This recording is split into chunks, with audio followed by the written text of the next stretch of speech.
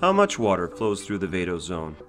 It's a critical question for soil scientists, irrigators, ecologists, hydrologists, anyone who works in the soil plant atmosphere continuum.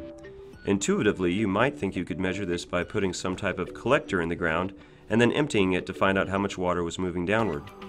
This is the theory behind the pan lysimeter.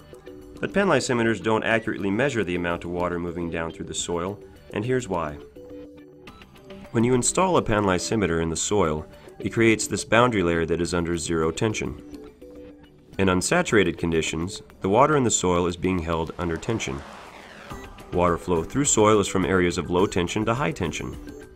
Because of this, water physically cannot flow into the pan lysimeter and instead will flow around the pan lysimeter.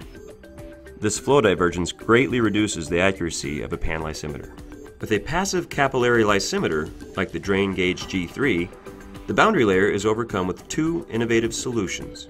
With the addition of a divergence control tube, or DCT, the amount of divergence from the drain gauge G3 is greatly reduced.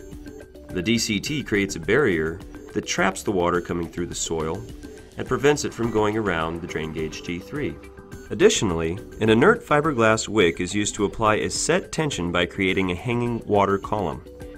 The tension applied by the wick helps overcome the boundary layer effect by mimicking the tension that the soil would typically apply and pulling the water into the measurement reservoir. The DCT extends the tension that the wick is applying through the soil to the top of the DCT. The combination of the DCT and the wick vastly improves the collection efficiency of the drain gauge G3.